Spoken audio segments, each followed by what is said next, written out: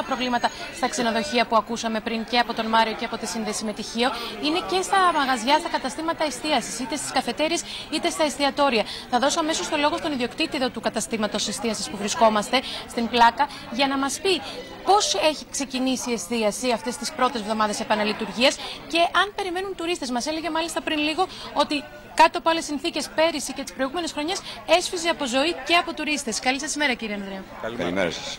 Καλημέρα στο Γιάννη και στο Χρήστο. Καλημέρα. Εάν το ερώτημά σας είναι τι γινόταν πέρσι και πρόπερσι, θα πω ότι δεν έχει καμία σχέση με το φετινό. Είναι πολύ υποτονική η κίνηση ε, και αυτό, όπως καταλαβαίνετε, είναι πολύ δύσκολο για μας. Σίγουρα ευελπιστούμε, περιμένουμε να μπει ο Ιούλιος και πιστεύω ότι κάτι θα γίνει από τουρισμό. Αλλά τουλάχιστον σε αυτό το κομμάτι θα πρέπει τουλάχιστον, ε, Χρήστο Μεσού τα ξέρεις καλύτερα και σε ξέρω κιόλας. Θεωρώ ότι θα πρέπει να βάλει πλάτη η κυβέρνηση και όχι αυτό που κάνει με τις τράπεζες, γιατί οι τράπεζες λεφτά δεν δίνουν.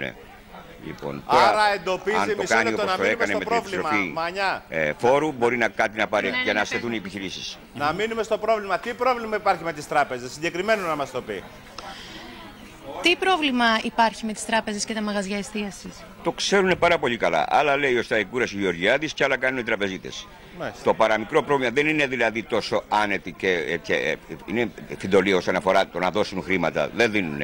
Αλλά τέλος πάντων αυτό είναι μια άλλη κουβέντα από την οποία πρέπει η κυβέρνηση να βάλει πλάτη. Αν πράγματι πήρε βοήθεια από την Ευρωπαϊκή Ένωση κτλ. να ρίξει λεφτά στην εστίαση γιατί πραγματικά βρισκόμαστε αδιέξοδο. Έχει ο καθένας από 10-15 άτομα προσωπικό και θα προβούμε σε απολύσεις οπωσδήποτε γιατί αν θα συνεχιστεί αυτή η κατάσταση.